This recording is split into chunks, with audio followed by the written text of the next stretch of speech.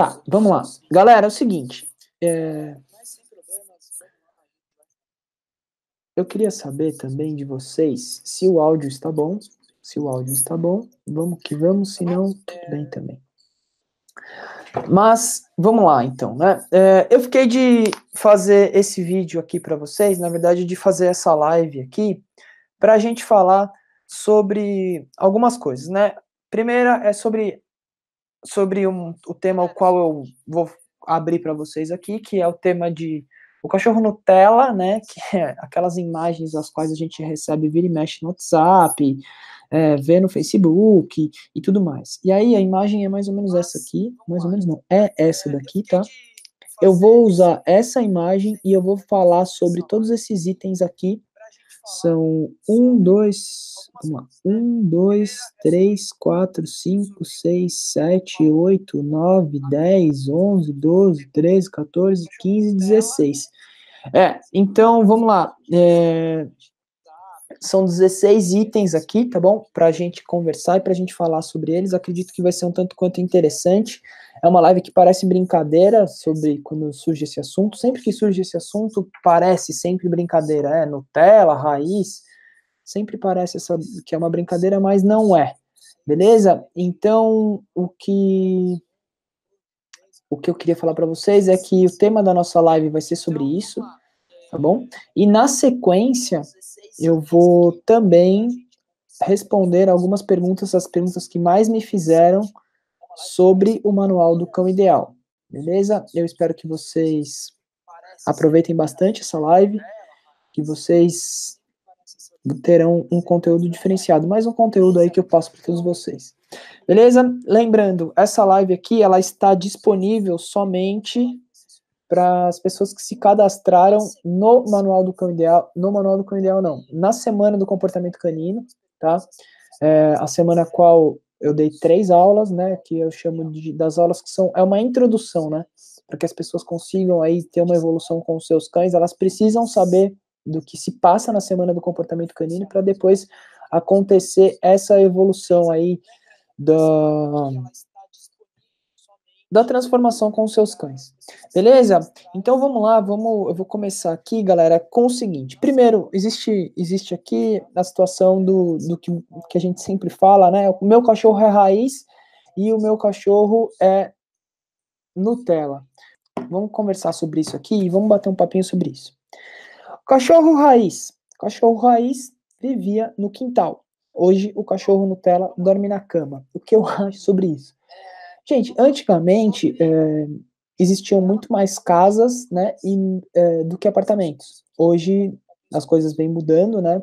A verticalização vem aumentando, então a, as moradias estão deixando de ser térreas ou casas com dois, três andares, dois andares, né, sobrados, estão virando grandes prédios, tá?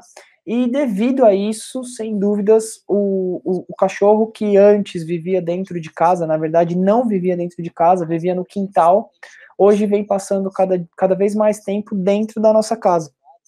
E isso, sem dúvidas, é uma coisa que vai influenciar totalmente os nossos cães é, aonde eles dormem, tá? E aí, naturalmente, eles acabam dormindo é, geralmente próximos a nós, né? Que nem eu, a Scully, ela, ela tem acesso à cama, ela tem acesso ao sofá, ela pode subir, mas eu não admito que ela durma na cama ou que ela fique na cama no, à noite, tá? Ela às vezes até sobe na cama tarde, fica na cama tarde, sei lá, se algum dia eu deito na cama tarde, ela fica também, e tudo bem, e ela entende que à noite ela tem que deitar no chão, tá? Não necessariamente no chão, ela tem uma caminha, então a Scully, nesse ponto aí, ela fica no meio termo, né? Então, eu acho que essa brincadeira do cachorro raiz e do cachorro Nutella é legal porque eu consigo colocar o meu cachorro, né? Mostrar para vocês o quanto ela é raiz e o quanto ela é Nutella. É, que eu acho que, sem dúvidas, é o meio termo aí de se ter um bom cão. Nem tanto raiz e nem tanto Nutella. É, já falando de cara aqui, vivia no quintal e hoje dorme na cama, isso tem um. Vai, pode ocorrer aí um grande problema que é o hiperapego, né? Pelo fato do cachorro ficar muito tempo ao nosso lado, muito tempo com a gente, é, a gente acaba influenciando os nossos cães a terem o hiperapego.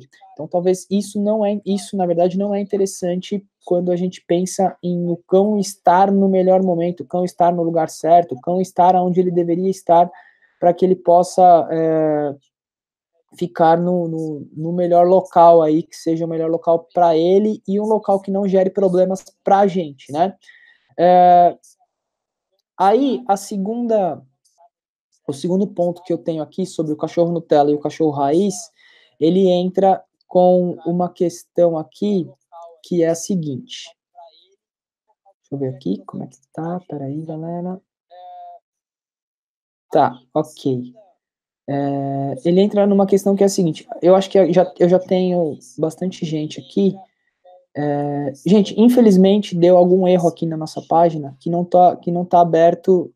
Deveria abrir um chat aqui ao lado, meu lado direito aqui, não sei como é que vai aparecer para vocês, mas deveria abrir um chat aqui para a gente ir batendo um papinho. Então, mas infelizmente não tá, não tá abrindo tá?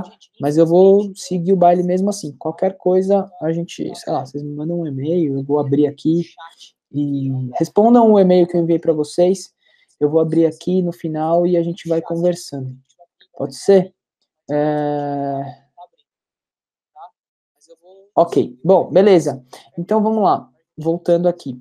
É, o segundo ponto do cachorro raiz, da diferença do cachorro raiz e do cachorro Nutella é o seguinte: o cachorro raiz, ele fala, obedecia ao dono. O cachorro Nutella não tem dono, mas papai e mamãe. É, eu acho que quando ele, ele entra nessa brincadeira aí do cachorro raiz não tem dono, e sim papai e mamãe, eu não vejo problema nenhum em um cachorro ser chamado, um cachorro ter pai ou mãe, né? Hoje, na verdade, muito do que vem acontecendo é que é, as famílias, elas não são mais constituídas é, da forma as quais elas eram antigamente, talvez homem, mulher, é, filhos, né? Hoje, às vezes, homens, às vezes, mulheres com filhos, sem filhos, e muita gente hoje vem trocando, sim, é, ter um filho por ter um animal, por ter um cão, tá? Então, eu não vejo nada de errado em ter, ser um, ser um, ter um cão e chamá-lo de filho, é, até porque o tratamento vem sendo muito parecido ao de um filho, muito parecido, vocês vão, vocês vão ver o porquê é, principalmente quando a gente fala nessa parte de obediência, porque quando a gente lida com obediência, a gente tende a dar muito mais obediência e educação, sem dúvidas, aos filhos do que aos cães, né? Então, muito, muitas das pessoas que têm cães, elas deixam as coisas acontecer pelo simples fato de que é um cachorro. Então existe ainda essa desculpa. Ah, ah, o meu cachorro faz isso. Ah, mas ele é cachorro, não tem problema. Então isso é um grande problema, assim, quando se entra numa, nessa questão de antigamente o cachorro raiz, né, obedecia ao dono e o cachorro Nutella é, não tem dono, tem papai e mamãe. Então eu posso falar que sim, a Scully ela tem pai, né? Hoje ela é não só a Scully, todos os meus cães, ela tem pai, né? Tem mãe, né? É, eu chamo ela de, de, filha e tudo bem. Só que ela também é raiz nessa, nesse ponto porque ela tem obediência. Ela me obedece sem dúvidas alguma muito, né? É, não sei quem viu os stories hoje do Instagram. Eu fui dar um gasto de energia efetivo para ela, fui passear, e ela fui fazer um exercício com ela, o qual, meu, na gente na rua, ela executa o exercício da melhor forma possível, né? Aí a outra, vamos lá no, no terceiro ponto aqui, entre cachorro raiz e cachorro Nutella, é, ele fala assim: cachorro raiz, é, a, rojões aguentava. É, aí hoje, né? Cachorro Nutella quase morre com rojões. A grande diferença é, que está aí bem ligada ao cão raiz e ao cão Nutella, quando a gente brinca aí nesse. Óbvio que a gente está brincando aqui, tá, galera? Não levem esse negócio de. Sim, ele é sério, mas é uma brincadeira que rola aí nos, nos grupos, Facebook, WhatsApp, e eu achei ela bem legal e interessante para passar para vocês é, o que eu acho sobre isso e como enquadrar aí o nosso cão para ser um meio termo, né? Nem, nem raiz e nem Nutella, ser o melhor cão para gente, né? Quando eu falo em melhor cão do mundo, qual é o melhor cão do mundo? É o seu cão, né? É muito subjetivo esse negócio de ter o melhor cão do mundo. Às vezes o melhor cão do mundo para você não é o melhor cão do mundo para mim, tá? Então o melhor cão do mundo é para você, tá? É o seu cachorro aí. E quando a gente fala em rojão, é, o que acontecia, sem dúvidas, era que o cachorro raiz, ele não tinha essa proximidade ou essa, essa opção de morar dentro de casa ou dentro de um apartamento, e isso não dava a ele a desensibilização a qual acontecia de um cão raiz, né? Na verdade, o cão Nutella não, não, não, não passa por isso, né? Não, não, não tem o processo de sensibilização, que é estar em um ambiente o qual é, os barulhos acontecem e segue a vida, né? Hoje em dia, é, com, com, é, com a verticalização, com o aumento do, da, das, das casas, dos apartamentos e da moradia dos cães dentro de casa, qualquer barulho hoje a gente acaba levando o cão a um comportamento inadequado. Então, acontece um barulho, a gente tende a pegar o cachorro no colo, ou tende, ai meu Deus, não foi nada demais, não sei o quê. O que não acontecia com o cão raiz, né? Porque o cão raiz estava no quintal e por ele estar no quintal acontecia um barulho, gente. Segue o baile, nada mudava e seguia e acontecia, tá? É, hoje a Scully ela não tem, ela foi é, nesse, nesse ponto eu, eu criei ela muito no raiz, então ela não tem medo, nem, na verdade, nenhum dos meus cães tem medo de barulho, tem medo de, de rojão. É, a Cristal é a única que tem um pouquinho de medo de chuva, né? É, mas tudo bem para ela, porque ela foi acostumada a ficar na caixa de transporte durante esses, esse processo aí de, de, de rojão, de trovão, né? Chuva, que eu digo trovão. Então, para ela, ela fica super bem dentro da caixa, não se mutila, não tem medos excessivos, então não precisa tomar medicamento nem nada, tá? Isso é, sobre como ensinar os cães a perder o medo de rojão, de barulhos, de tudo que pode acontecer aí, isso é uma coisa que eu tenho, a gente tem no Manual do Cão Ideal, ela está na terceira semana, vocês já podem ter visto aí diversos depoimentos de pessoas que tinham cães realmente que entravam em até automutilação pelo medo, né? E resolveram aí, utilizando as técnicas que eu passo aos meus alunos do Manual do Cão Ideal.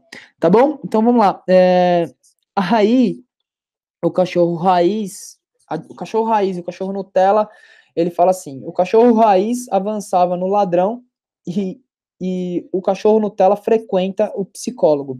Né? Gente, é, esse daí, o cachorro raiz avançava no ladrão, então vamos lá isso é uma coisa que a gente pode falar que, entre aspas, é uma coisa errada, né? Porque era um cachorro que, pelo fato de viver dentro, dentro não, né? Fora de casa, ou na verdade no quintal, era um cão que tinha muito menos socialização. Então, ele, ele tinha uma socialização muito grande com o tratador, ou na verdade com o dono do cachorro, que era quem dava comida, quem leva a passear e com outras pessoas ele não tinha socialização alguma, porque geralmente esses cães que os cães raízes eram os cães grandes. Os cães que moravam no quintal são os cães grandes.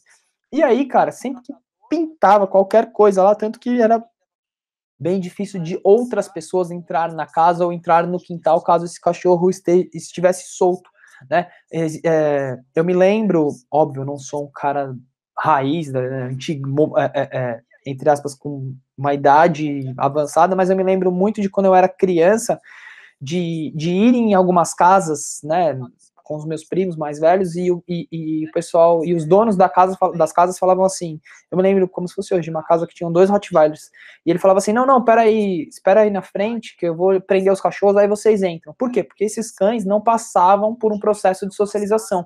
Eles sim interagiam com os donos, quem alimentava, quem talvez fazia um passeio, mas não tinha processo de socialização na rua, né? Diferente do que acontece hoje. Hoje a gente leva os nossos cães para todos os lugares e a gente precisa dar um processo de socialização. E aí é uma coisa que eu falo muito, não só para os alunos do Manual do Cão Ideal, mas para todas as pessoas que me seguem, que é o seguinte, existe uma grande diferença entre socialização, sociabilização, óbvio, né, uma grande diferença entre isso, mas é, eu acho que a maior diferença é, é entre socializar o nosso cão, nosso animal, em expor, né, as pessoas estão é, é levando a socialização para exposição, né, que seria expor o cachorro a um monte de coisas, não, sem fazer o processo correto. E isso é o que leva o cão a ter comportamentos inadequados, porque ele não está sendo socializado, ele está sim sendo exposto, exposto a um local com milhões de crianças, exposto a um local com milhões de outros cães, e nem sempre o cachorro está apto ainda a uma exposição desse tipo, né? É, A Gaia tá aqui comigo, tá aqui na minha casa, e eu me lembro que eu, eu, eu tive o prazer de participar, de fazer o processo de socialização dela, e a primeira vez que ela foi para um evento grande, onde ela ia ter contato com muitas, muitas, muitas crianças, né, uma exposição muito grande, ela já tinha, sei lá, uns dois anos e meio, quase três anos aí, é, porque ela foi fazendo um processo gradativo, né? Nunca eu expus ela a 50 crianças de uma única vez. Isso é uma exposição, não uma socialização. Eu fui fazendo o processo de socialização anteriormente, tá bom? Então, vamos lá, seguindo aqui, é... avançava no ladrão, aí o, o outro é cachorro raiz, odiava gato, cachorro Nutella é covarde. Então, mais uma vez, seguindo aí a, a, a, a como chama? Esqueci de novo. O processo de verticalização. Hoje a gente é, tem essa opção, né, de ter gato, né, e, e, de ter e de ter cachorro dentro de um apartamento, assim como eu tenho. E a gente nesse nesse ponto, é, o com o excesso, com, com o, o, a mudança de, de, de, ambiente, a gente traz para dentro da nossa casa, então dentro da nossa casa fica muito interativo, porque a gente usa de muito enriquecimento ambiental. Então, esse enriquecimento ambiental, e claro, o processo de socialização, é, o processo de interação enquanto filhote do cachorro, ele acontece muito melhor do que acontecia anteriormente. Porque, sim, cão e gato sempre serão é, é, presas e predadores, né? Às vezes depende do, do, do, momento, mas sempre haverá presa, presa e predador. Então, o que a gente precisa entender é que os cães, assim como os gatos, têm os seus limites, como é, podem interagir, sim, mas é, em alguns momentos o gato precisa fazer o seu processo de enriquecimento ambiental, de caça, de estimulação, e, assim como os cães também. Então, pelo fato da gente dar hoje esse processo de enriquecimento ambiental dentro de casa, a gente inibiu muito que os nossos cães, e claro, pelo processo de socialização que foi feito anteriormente, né, na verdade, enquanto filhote, tanto de um quanto do outro, inibiu muito que os nossos cães tivessem esses comportamentos de, de predação, né, que é o comportamento de matar um gato, de pegar um gato e assim sucessivamente. Isso, não que isso não seja uma questão, isso é uma questão, né, que é natural, é um comportamento natural canino. Se o cachorro não passa por esse processo de sensibilização e de enriquecimento ambiental, sem dúvidas ele vai ter sempre esse é, que eu posso chamar de é, de instinto, né? Ele vai ter sempre esse instinto. Se esse instinto não é tirado no começo, ele vai sempre aflorar. Beleza? É... Ih, gente, eu pulei uma aqui, ó. Não, frequente psicólogo, odiava gatos é covarde, era corajoso e... aí, vamos lá, era corajoso e viril e agora convive com gatos. Então era o que a gente estava falando, né? É, e na verdade a questão da coragem, eu acho que ela tá ligada sim ao processo de socialização, de socialização e de não socialização, porque é o seguinte, quando ele, é, é, quando, ele quando a gente fala em um cão ter coragem é, por alguma coisa, então vamos supor, ele tem coragem ao barulho, tem coragem é, ele não tem medo de alguma coisa, ele passou por um processo de socialização, que é o processo de ele ser exposto ao barulho e não, não, não, ter, não ter nada que fosse, entre aspas, que levasse medo a ele. Então, ele passou por isso. E quando ele tem coragem, é, é, muitos desses cães, e não é uma questão de coragem, tá? É uma questão de, a gente pode, que eu posso chamar assim, é, de luta ou fuga, tá? Não, é, não entra muito numa coragem, o cão, o cão raiz ser corajoso. Quando ele não teve esse processo de socialização com pessoas, ele tende a latir sempre que essas pessoas passam, pessoas novas cheguem, tá? E não necessariamente esse latido é por ele ser corajoso, pode ser um latido por uma questão de fuga, tá? Então o cachorro faz com que a pessoa, com que tenha uma fuga, com que fuja, né? É, ou ele, ou é, é, pelo latido. Então ele late é, é, é, é, tem, fazendo com que a pessoa, com que a pessoa fuja. Ah, então, e aí ele acaba sendo recompensado por isso, não porque ele é corajoso, né? Então, isso tem que ficar muito bem claro aí. É... Ah, ah, aí ele entra aqui, né? o, o segundo é o, é, é, é, o próximo ponto é o seguinte: saía na rua sem roupa, né? E hoje é preguiçoso. Então, isso eu concordo totalmente que a gente que tá faltando, né? Sair à rua sem roupa. Gente, cachorro não precisa de roupa, tá? É por isso que eles têm pelos. E se a gente for falar sobre comportamento humano, a gente também não tinha, não precisava de roupa, né? Por isso que a gente foi colocando roupa e perdendo pelo. É o que vem acontecendo com os cães. Então, muitos cães, o excesso de roupa vem fazendo com que eles percam pelo. A evolução, eu não sei aonde vai parar esse, esse mercado de, de roupas e etc. para cães, mas a evolução é, sei lá, talvez eu espero ter morrido quando isso acontecer. Mas é muito provável que cães, em algum certo momento aí do, da evolução, eles não tenham mais, é, não, não tenham mais pelos pelo excesso de roupa que as pessoas vêm dando, tá bom? Ah, é, pô, beleza, alguém mandou uma mensagem pro Gustavo, o Gustavo tá me passando aqui, que rolou, galera, boa, show de bola, mandem mensagem pro Gustavo, depois eu entro no chat e a gente vai falando, tá? O Gustavo é aqui, ó, no, no Givo, aqui embaixo, tá? Fale conosco, é, como eu não estou conseguindo ver as mensagens aqui nas páginas, mandem mensagem aqui no Fale Conosco, é, e aí depois o Gu ou eu vou respondendo. Mas não saiam do site, tá? Se vocês saírem, eu vou responder para o e-mail de vocês, tá bom? É, então vamos batendo nesse papo aqui e vamos mandando mensagem aqui. É, é o Gu está assistindo aqui. O Gu, deixa que eu respondo, pode ser? É, ele está assistindo a live aqui, ele não está não tá aqui comigo, né, nesse momento. É, mas eu vou deixar para eu responder o, as perguntas que vocês fizeram aqui no, no, no, chatzinho aqui embaixo, tá? Aqui embaixo tem um Fale Conosco, é o Gustavo que está no momento, na verdade é ele que sempre fica. Eu vou pedir para ele deixar aqui eu respondo, tá bom? Então a gente está falando sobre isso aqui. Beleza, resolvemos aí mais um problema, tá? É... Ah, aí entra essa questão de sair pelado e hoje, ah, e aí a questão do ser preguiçoso. Sem dúvidas, esse, essa relação do ser preguiçoso hoje é uma relação péssima. Os cachorros hoje não têm gasto de energia efetivo e, e os cachorros hoje não têm interação social, os cachorros hoje é, vivem muito mais presos. Cachorros que vivem em, em prédios, em condomínios, assim como o meu, que tem um espaço que pode descer cachorro, tem cachorro do meu prédio que nunca viu a rua. Ele só vai até a grama lá embaixo, no espaço pet, faz necessidade, xixi, cocô, brinca com os cachorros daqui do prédio, mas ele nunca pisou no asfalto, ele nunca foi no, no parque da aclimação, ele foi, nunca foi no parque de Ibirapuera. Então, isso sim é péssimo para um cão Nutella, né? E eu posso falar que a Scully é total raiz. É, na verdade, todos os meus cães são total raiz. Nenhum deles usa roupa, né? Eles, eles têm sim uh, um local coberto, né? De, de para não passarem frio, os que, os que dormem no canil mas a Scully não usa roupa e vai passear sem roupa e passeia todos os dias e tem interação todos os dias e se diverte todos os dias. Então, os meus cães nesse ponto são cães raiz, tá? É...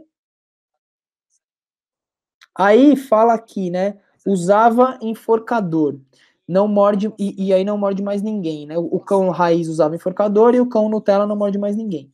Essa relação do usava enforcador, gente, Cara, é, isso é muito subjetivo, é até difícil de falar isso, né? Porque as pessoas abominam o enforcador, sendo que o enforcador, sabendo se usar, ele não é para ser não é para ser algo como é, é, algo para se enforcar cachorro, né?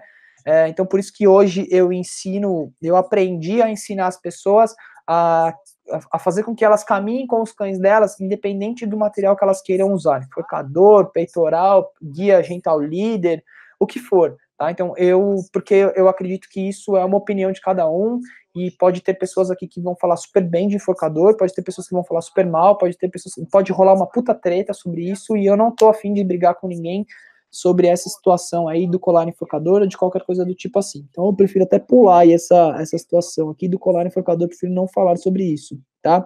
É, é, mas a relação do não. Aí ele fala que o cachorro Nutella não morde mais ninguém.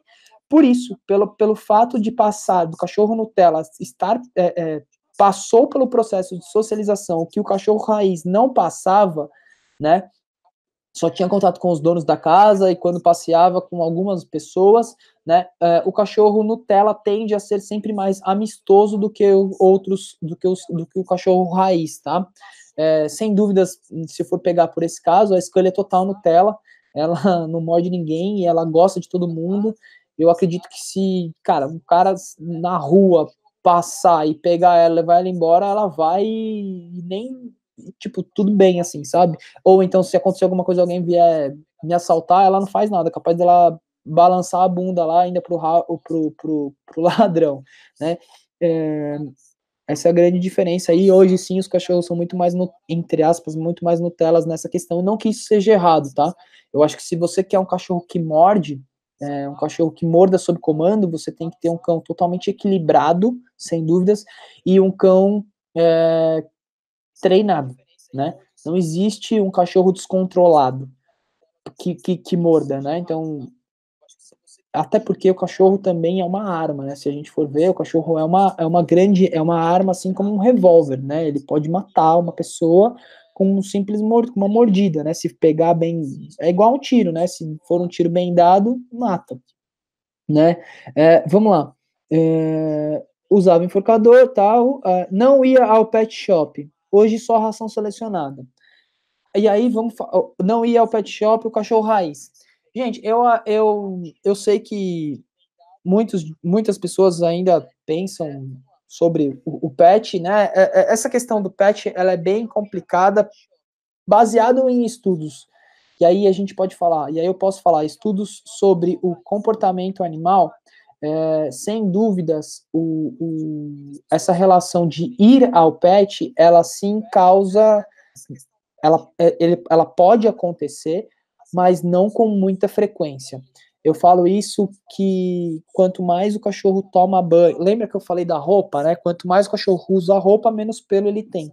Então, esse processo também da roupa da, da, da, do pet, quanto mais banho ele toma, ele tende sim a ficar cada vez mais mais, entre aspas, fedido, porque ele perde é, a natura, a, a, a, o seu bloqueio natural, que é a oleosidade da pele, para segurar o odor. Então, um cachorro que vai muitas vezes ao pet, muito mais vezes ao pet, ele está sempre mais fedido do que um cachorro que não vai muito, né?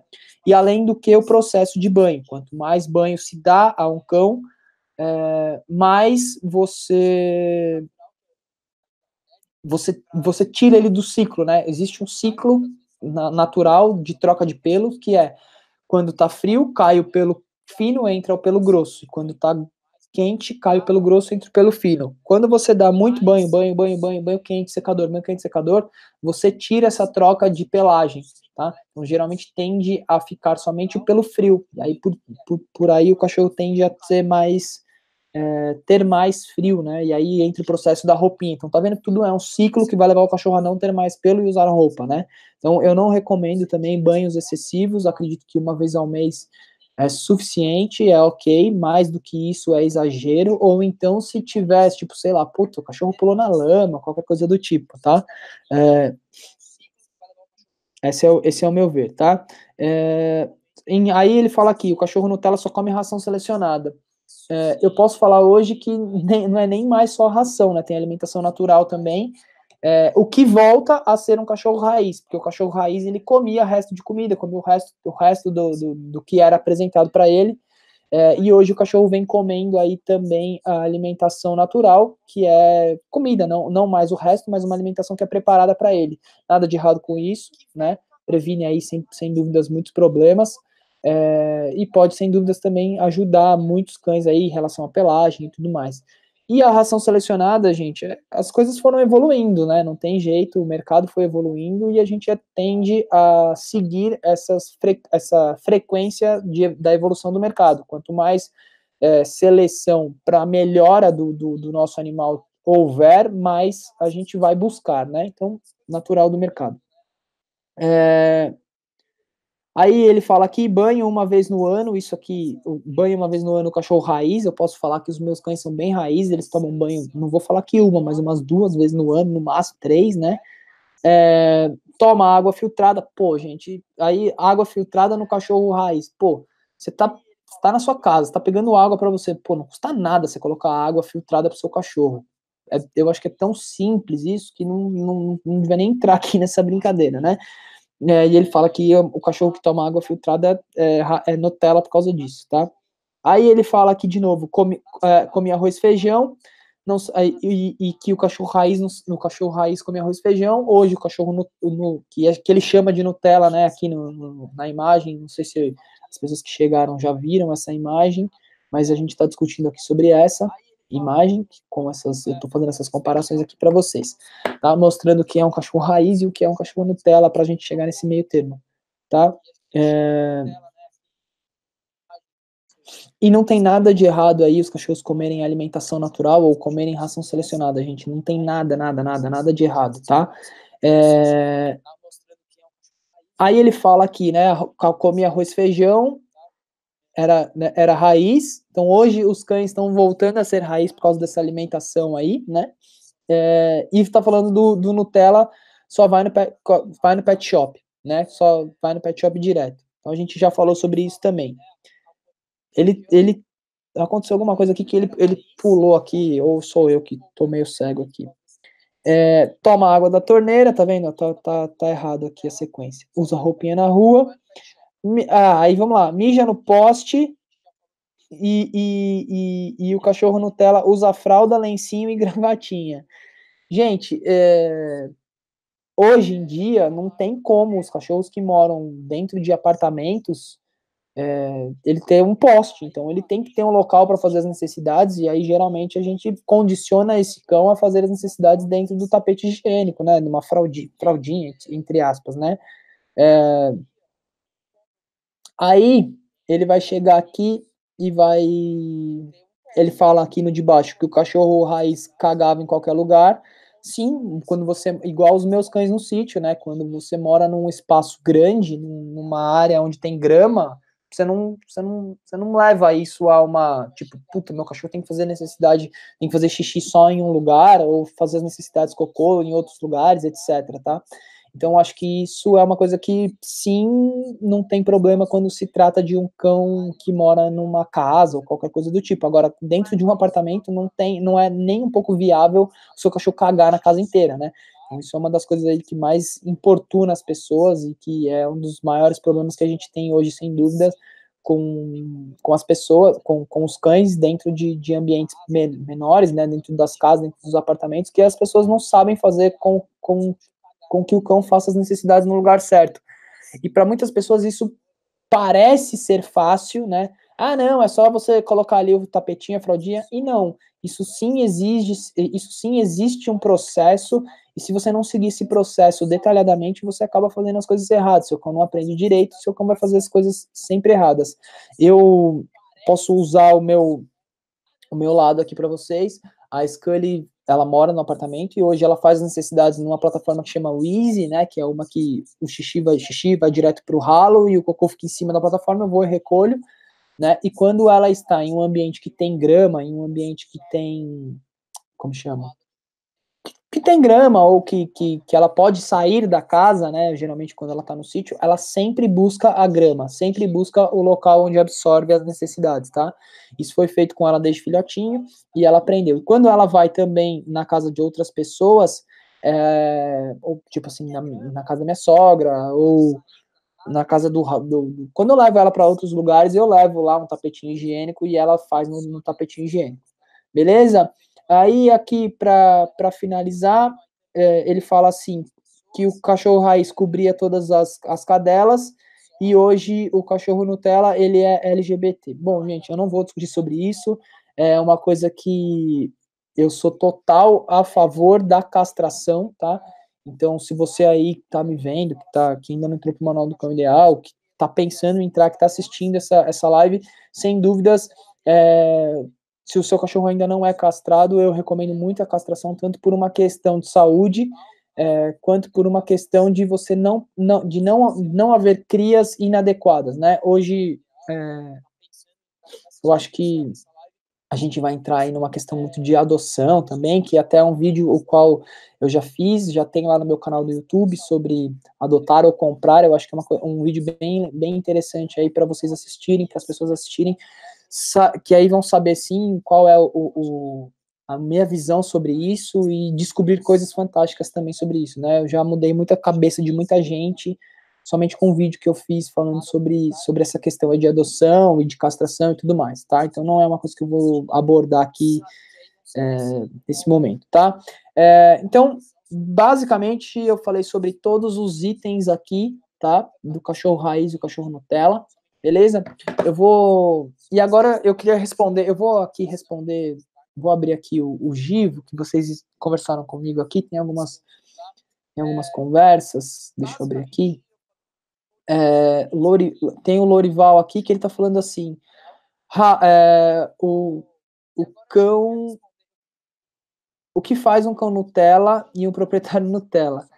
Cara, é, vamos lá, né? Eu acho que um cão Nutella é o cachorro que a gente mima demais, né? E aí, entre aspas, quando a gente fala do proprietário Nutella, é o proprietário que mima demais o seu cachorro, né?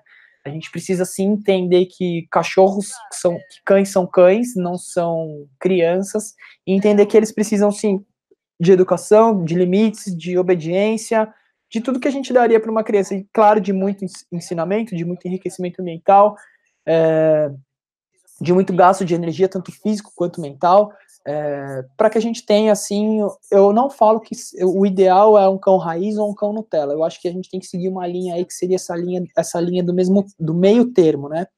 Eu ouvi hoje em um vídeo uma pessoa falando assim, casa de ferreiro, espeto de pau. Na verdade, eu, eu acho que o cão, o, o melhor cão que tem é o cão que segue aí mais ou menos as linhas da Scully, né? E aí é o que eu digo que eu posso falar e afirmar para vocês. A, a, casa aqui é de ferreiro e o espeto é de ferro, tá? Não é a Scully não é bagunçada não, o negócio é, é bem levado a sério aqui, tá? É, tem uma outra, eu respondi aqui a sua, tá, Lorival? É, tem uma outra pergunta aqui. Galera, se vocês estão me vendo aí, quem está me vendo, é, e quiser fazer alguma pergunta, falar comigo aqui direto, não deu certo o nosso chat aqui na, na live, não sei porquê, no Hangout, ele estava tudo ok, tanto que ele está até aqui aberto, mas ele não está aparecendo. É, então mandem mensagem pelo Givo aqui embaixo, tá? Na verdade, não sei aonde que eu tô agora. É, não, é aqui embaixo mesmo, tá? Não, do outro lado. Aqui embaixo tem aqui o Fale Conosco, é o Gustavo que está falando, mas eu consigo acessar e eu consigo ver, beleza? E aí me mandem mensagens aí pra gente falar sobre isso. Tem uma mensagem aqui da Carla, que ela tá falando o seguinte, Rafa, é, o meu cão, ele é meio termo, meio Nutella e meio e meio e meio raiz. Ela fala que ela peca mais em, em usar roupas. É, o cara, sem dúvidas, é, a utilização de roupas, ela é uma das coisas que mais leva o nosso cão a ser ou raiz, ou mais ser Nutella, né? É, eu acho que deu, pelo que eu falei, deu para você entender aí muito dessa relação, né? E aí, galera, né, vamos entender aqui algumas perguntas que vocês estão fazendo. Na verdade, vocês fizeram para o Gustavo, e como eu falei para ele não responder, eu que vou responder, tá? Que é o seguinte: é, tem uma mensagem aqui do Marcos que ele está falando o seguinte: Rafa, eu trabalho eu trabalho cerca de 12 horas ao dia. Como que eu vou aplicar as técnicas do Manual do Cão Ideal? Cara, é, sem dúvida, se você tiver pelo menos 5 minutos ao dia, você consegue evoluir aplicando passo a passo que eu ensino para os alunos dentro do Manual do Cão Ideal, tá? De 5 a 10 minutos você já vai ter uma grande evolução. É... Beleza, Marcos? Tem uma outra aqui. Fá, Fá, Fá, Fábia. Oi, Fábia, tudo bom? Beleza? Vamos lá. Ela tá perguntando. Peraí que ela tá digitando. Eu já leio tudo de uma vez. Beleza, Marcos? Quanto tempo? Tá. Quanto tempo é, fica disponível? Oi, o, o Fábio, o que tá acontecendo? Tá acontecendo, não tá acontecendo nada, né? As aulas, elas ficam disponíveis para você durante um ano, tá? E eu venho, eu, eu fechei né, nessa plataforma agora, vocês vão ter disponibilidade nela, eu acredito que mais de um ano, tá? Então, no, no, no vídeo eu falo um ano, mas nessa plataforma agora vai ter a disponibilidade maior que um ano, tá? Além disso, contato comigo, vocês têm contato direto, vocês podem falar comigo sempre que vocês quiserem, porque vocês já têm aí o meu e-mail, vocês já têm o meu contato, é, vocês já têm tudo. É, as turmas, as turmas têm um contato no Facebook, tá? Que é um grupo secreto do Facebook. É, eu crio pequenos grupos e depois eu crio um, um grupo gigante para todas as turmas juntas, ok? É, e você tem também a possibilidade de assistir, né, além das aulas, são mais ou menos, mais ou menos não, são mais de 140 aulas, você tem a possibilidade também de assistir depois é, as aulas ao vivo, tá? Então, são quatro aulas ao vivo que eu faço, nas, na, na, são quatro terças-feiras ao vivo, e depois as aulas acontecem, elas podem ser assistidas depois na plataforma, tá? Ontem já rolou uma aula sobre que é uma aula de boas-vindas. Amanhã tem a segunda aula e a gente vai, conforme as aulas vão acontecendo, vocês vão assistindo aí, tá bom? É, deixa eu ver aqui a outra. Tem mais umas. Tem mais umas não. Tem mais uma aqui, ó. Rafa, Rafa, eu tenho mais de um cão. Consigo? Consegue. Ó, para quem tem um, dois, três, quatro, dez cães, pode, vai conseguir tranquilamente, tá? Assim como tem de, diversos depoimentos das pessoas aqui que conseguiram também, que fizeram e que evoluíram com um, dois, três, quatro, cinco cães, tá? É, tem uma outra pergunta aqui perguntando sobre as formas de pagamento. Gente, as formas de pagamento do Manual do Cão Ideal, elas estão em três formas. A primeira forma é, é, no cartão de crédito, você pode efetuar o pagamento em 12 parcelas. É, você, se você quiser pagar em boleto, você me envia uma mensagem, eu te envio, você pode fazer, você pode efetuar o pagamento em três parcelas. E se você quiser fazer o pagamento em com uma, uma transferência bancária, eu dou 10% de desconto, tá bom? É, lembrando que sempre que eu falo em valor, eu tenho que falar sobre a garantia eu dou uma garantia de 15 dias é, incondicional. Então, em 15 dias, você, Rafa, por qualquer motivo, Rafa, não gostei de você, Rafa, não gostei do manual do cão ideal, Rafa, não gostei da plataforma, sei lá, gente, qualquer coisa, qualquer motivo é, que você não tenha gostado, 15 dias, 15 dias a partir da sua compra, sei lá, você comprou hoje, você tem 15 dias a partir de hoje, tá? Para me enviar um e-mail, em até 15 dias, para me enviar um e-mail para eu devolver 100% do seu investimento. Um simples e-mail, eu faço o estorno automaticamente. 15 dias, gente, não deixa passar. Então, se você tem alguma dúvida ainda, cara, entra, faz o teste no 13º dia, 14º dia, 15º dia, você me manda e fala assim, cara, quero meu dinheiro de volta, eu te devolvo sem problema algum, tá bom? Então, sempre que eu falo em valores, eu preciso falar. É uma garantia incondicional, porque é, eu sei que eu tenho a capacidade de transformar a vida das pessoas e dos cães das pessoas com os ensinamentos que eu passo, assim como eu já fiz com mais de mil alunos, a gente chegou a 1.200, é, 1.200 e poucos alunos, né, é, e eu tenho, hoje eu fiz um post de um vídeo de 2 horas e 20, 26 ou 24 minutos de depoimentos. Então, sem dúvidas aí, é uma coisa que vai influenciar bastante aí, que vai mudar bastante a vida de vocês. Então, é por isso que é, eu dou essa garantia aí incondicional de 15 dias. Tá bom? É, deixa eu ver se tem mais alguma coisa aqui. Peraí, que eu preciso mudar de página para ver. Peraí. Eu dou essa garantia aí incondicional de 15 dias. Tá bom? Deixa eu ver aqui. Eu queria, óbvio, pedir, pedir desculpa para vocês é, pelo que aconteceu aqui, claro, né, pela, pelas mensagens, que eu não pude, não, não ficou um chat ao vivo aqui, eu não sei o que aconteceu, eu preciso até verificar isso aqui para que não aconteça novamente, tá? É, mas eu queria agradecer aí a todos vocês a participação, a presença, e deixar aqui claro que aqui embaixo, tá, ó, aqui embaixo da página que vocês estão, tem um vídeo que é extremamente importante que vocês assistam, antes de vocês entrarem para o Manual do Cão Ideal. Além disso, descendo aqui toda a página do, do Manual do Cão Ideal, deixa eu ver aqui se eu consigo fazer um esquema aqui para vocês assistirem. Ó, é, então aqui, galera, nessa, nessa, ó, se, alguém tiver ainda alguma dúvida, vem aqui, ó, e fala comigo, tá? Eu tô aqui vendo agora, tô aqui, ó, acabei de encerrar essa última aqui do Lorival, tá? Se alguém estiver assistindo, vem aqui e fala comigo. É, manda uma mensagem aqui para a gente conversar, tá?